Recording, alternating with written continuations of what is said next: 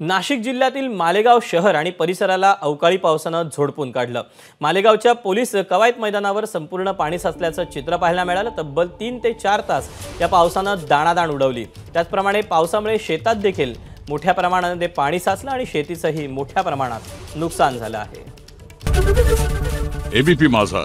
उघडा डोळे बघा नीट.